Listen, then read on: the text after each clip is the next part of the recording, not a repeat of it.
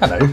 The DJI Neo is a great starting point if you're thinking about getting into the FPV hobby. It's cost effective, user friendly, and weighing in only 135 grams, it avoids a lot of the restrictions that bigger, heavier drones face. But even though it's probably one of the most straightforward ways into the hobby, there's still a bunch of stuff that you kind of need to know before you get flying, and that's exactly what this video is all about. I'm going to kind of assume that you either already have a Neo or that you're thinking about getting one already, so I won't cover a lot of the other benefits that the Neo brings with it. I'm just going to focus on the FPV side for this video and what really I've learned on my journey so far, because honestly, getting into FPV has just been one of the best decisions I think I've ever made. All right, we are flying nearly 40 miles an hour. Oh yeah, that's called an orbit. All right, yeah. This, this really is and mate, this is just totally different. Get a bit cockier as I get nearer to us. Try not to smack into us. Whoa! All right, so to start with, you're going to need to buy yourself the Neo, where is he? Over here. The goggles, and a controller. Where did I put the controller? It's down here.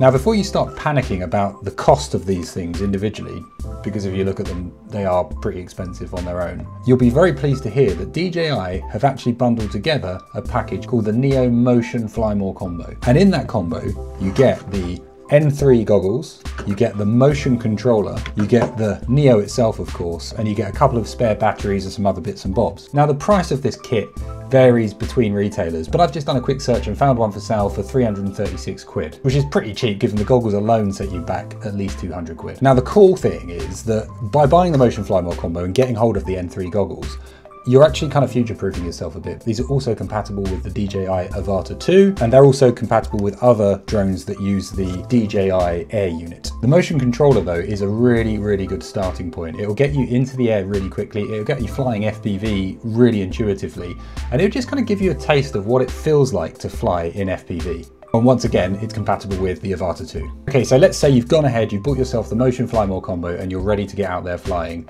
There are a few things to note before we go ahead and do that though. Now this part of the video might get a little bit dry, but it's really, really important to listen because there's some really, really important tips in here that you don't want to miss. Now the great thing about the Neo is, as I said earlier, it's under 250 grams, which means that you avoid a lot of the restrictions that you get with heavier drones like the Avata 2, for example. And that also means that you don't need any kind of license to fly the Neo. What you do need though is an operator ID. The operator ID basically tells people who the drone belongs to. You can register for one on the CAA or the Civil Aviation Authority's website and it will only cost you about £11. It's worth noting that this is obviously only covering the UK. Other countries will have different systems in place, but I think they'll have something similar to an operator ID that you'll probably need to register for should you want to fly. So check your local aviation authority's website to find out what you need to do. Now, once you have your operator ID, you'll just need to display it somewhere on the drone. Nifty little tip here, you don't actually have to display it on the outside of the drone. You can display it inside the battery compartment of your drone. As long as it's findable by authorities relatively easily without having to, you know, take things apart too much, then it's totally fine. Now, as I mentioned before, you don't have to have any kind of license to fly the Neo, but I would strongly recommend looking at the flyer ID section of the of the C, I always call it the CIA website, the CAA website, not the CIA website. You don't want to go there. That's uh, that's a different thing. To get your flyer ID, you basically just have to do a relatively short, I think it's about 20 to 30 minutes test. It's completely free of charge. And as you do it, you'll learn quite a lot about what it means to fly a drone and what you can do legally, what you can't do, etc. etc. I would honestly just recommend doing it regardless of what kind of drone you're looking to fly, even if you don't technically need to, because it will just give you some confidence in knowing, you know, how you can fly legally and what to avoid. Now, something else I'd really strongly recommend getting before you fly is public liability insurance. So boring, but so, so important. Basically, this is going to cover you should you, I don't know, crash into a really nice car and damage it. it you'll be covered, I think.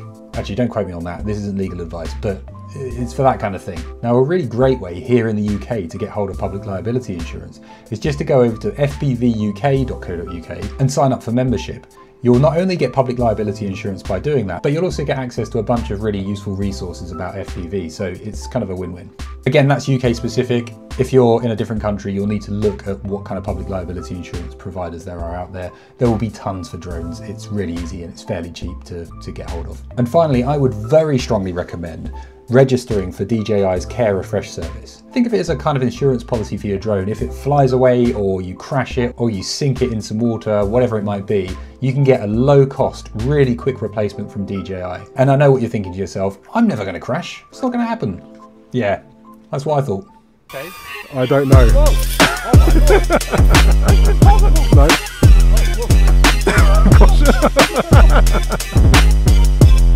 he can hit it. He can hit it. No, he can't. Jesus. Whoa, oh, sorry, Jesus. Did I crash? Yeah, I crashed. So I also made an entire video about my experiences with Care Refresh, where I documented everything from the start of the process right through to the end. Uh, go and watch it, I'm gonna link it up here. It's an amazing service, honestly, and it's only about 19 pounds for the year for the Neo, so 100% worth getting. If you fly without it, then, I mean, you're kind of, you're kind of, I was gonna say stupid, but that's really harsh. You're not very wise. Okay, so with all that out of the way, it's now time to take your Neo out and fly it. There are a few flight restrictions on where exactly you can fly. Uh, just check your DJI app. It's got a nice little kind of flying section on there where it'll tell you where exactly there are flight restrictions and where there aren't. There's also a really good app called Drone Assist that you can download that will again show you that information. Just double check that, make sure you're not flying, you know, in an airport. Now, when you start flying with the motion controller, you'll really enjoy it and you'll find it really exciting and fun. And uh, you'll think, well, I don't ever need to go on to, to manual mode, surely. But I reckon after about four or five hours of flying, you'll start to get itchy feet. So now let's move on to talk about this guy. It's the FPV3 remote, and it's going to allow you to fly in full manual mode. At this stage, I would very strongly recommend jumping into an FPV flight simulator on your PC or your Mac. It's a really, really cheap and effective way to figure out how you feel about manual mode before you kind of go all in. Arguably, this could actually be the very first step you take, even before you buy a Neo, because ultimately, if you do it and you don't like it, it might save you the money of buying the Neo in the first place, which could be good. Now you will need a controller to fly in a simulator. You can use the FPV3 remote if you've already bought it, or you can also I think use like console controllers, PlayStation controls, something like that should work in it. The simulator that I use is called Liftoff. It's £15 I think on Steam. I'll drop a link in the description. And again, I did an entire video about learning how to fly in manual mode in Liftoff Simulator, so I will again link that here or here somewhere for you to watch. After this video though, keep watching this and then and then kind of come back to those and then binge all of my other videos, please. Now I would suggest getting at least six hours of experience flying in a simulator, but realistically you want to get closer to 10 or 15 hours before you take the Neo out to fly it in manual mode. And once you've done that, assuming you don't absolutely hate it, the next step will be to buy your FPV3 remote. Now unfortunately, this is actually, I think, one of the least cost effective parts of the whole journey because this control is like 140 quid which I mean, it's, it's cool, it, it feels all right, but that seems very expensive to me. But it will allow you to fly in manual mode, and honestly, it's I think it's worth every penny. Now, as soon as you receive the control, the first thing you're going to want to do is adjust the throttle stick so that when you move it down or up or wherever, it stays in place. Unlike you'll see here, this one flips back up. When you receive the control, this one will also just kind of flip back up. Now to do this, you'll need to pop the back off of your controller using a small flat tool. And once that's off, you'll need to insert an Allen key into the hole labelled F1 and tighten it until the throttle stick is no longer loose. Right, and next you will need to set up your FPV3 remote with your goggles so that you can actually switch into manual mode when you're flying. In order to do that, get your goggles on, go to the settings menu, then go to control and then remote control. There you'll see various button bindings for your controller. Here you'll want to go down to the bottom where it says custom mode. Click on that and then change it from sport mode to manual mode. What that means is basically when you start flying, you can use this little toggle here to switch yourself into manual mode. One other thing I would mention and that you will want to become very good friends with when you start flying with this control is this button right next to it here. That's the pause button.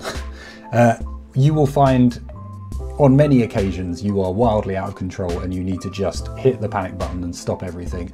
And that button will do exactly that. If the Neo is upside down and falling to the ground, it will switch itself back to the right way up and it will just stop in midair. Well, pause. uh, it's not completely foolproof. I have crashed loads attempting to do that, but it has saved me a bunch of times as well. So yeah, get really used to pressing that button right there.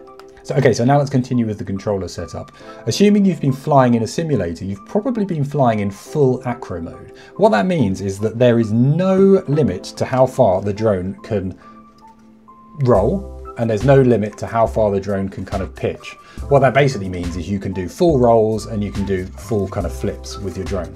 Now on the Neo, this is called the attitude limit. And as a factory setting, the attitude limit will be on, which means that you won't be able to tip your drone over too far. You'll only be able to go so far and you won't be able to flip it or anything like that. That can be pretty good for the first one or two flights, but I would recommend switching off pretty quickly because it can, I think, give you some bad habits if you fly with it for too long. To turn the attitude limit off, once again, go to your settings menu in your goggles, then control and then into the remote control menu, and then navigate to the gain and expo screen.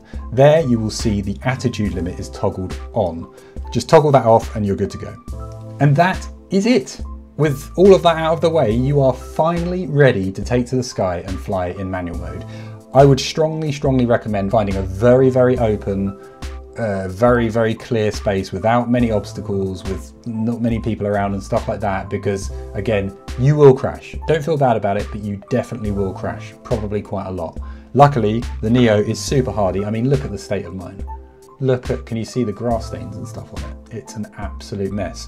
I've crashed this thing a million times and I, I honestly don't know how it's still going but it is. It's very very hardy and as a final, final note, as you get a few more flights under your belt in manual mode, you might want to start thinking about tweaking your gain and expo rates. These are basically just how your drone responds to the controller inputs that you make. I made an entire video about this where I used ChatGPT, of all things, to tune the rates of my drone, uh, and I'll link that again above for you to watch, maybe after this video.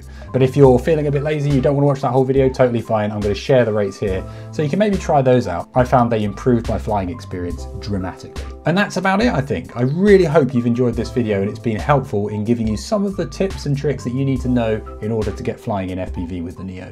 If you enjoyed this video, please do drop a like. Also, consider subscribing because I've got lots more of this kind of content to come and I'm going to continue to share my learnings about the FPV experience. And also, drop me a comment. I always love to hear from you. Just tell me what you think. Tell me where you are in your journey. Uh, I'd love to hear from you.